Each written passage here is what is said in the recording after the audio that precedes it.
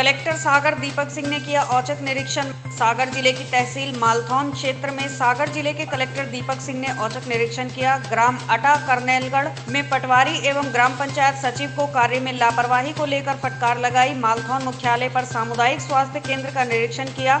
निरीक्षण के दौरान व्यापक तौर पर गंदगी पाई गई, जिसको लेकर डीएम ऑफ़ शेखर श्रीवास्तव पर कलेक्टर द्वारा नाराज़गी व्यक्त की गई। अस्पताल परिसर में एनआरसी में एवं अस्पताल के बाहर परिसर में गंदगी का अंबार मिला। गंदगी को लेकर सप्ताह के अंदर सरपंच नीलकमल सिंह को सामुदायिक स्वास्थ्य केंद्र की सफ़ाई करवाने के निर्देश दिए।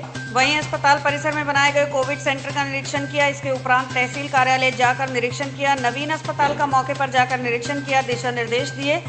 वहीं अस्पताल परिसर में गंदगी का जिम्मेदार अस्पताल प्रशासन है। साफ़ सफ़ाई एवं डेंटिंग पेंटिंग के लिए शासन द्वारा फंड दिया जाता है, जिसमें लीपापोती कर अस्पताल प्रशासन लाखों रुपए का गबन करता है।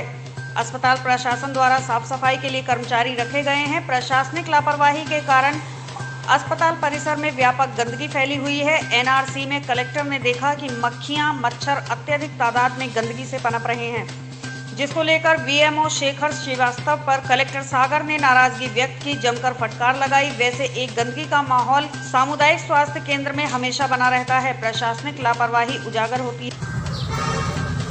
सर फीवर क्लिनिक का निरीक्षण किया है।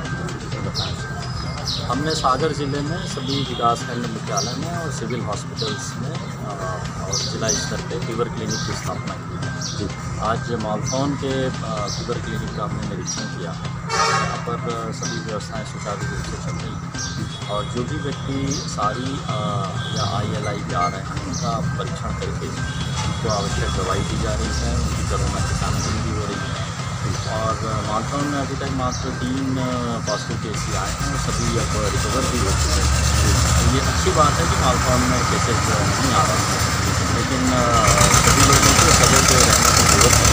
स्वास्थ्य विभाग का अमला और रेवेन्यू पुलिस के लोग अच्छा काम कर रहे हैं।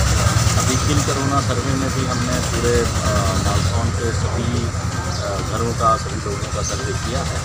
और अभी तक ऐसी कोई विशेष यहाँ पर समस्या नहीं है। काम यहाँ पर ठीक चल रहा है। और, लेकिन अभी काम इसको जारी रखना है। और मालथौन क्षेत्र में किसी भी प्रकार के कोरोना वायरस की एंट्री नहीं हो, इसके लिए लोगों का जागरूक होना ज़्यादा ज़रूरी है।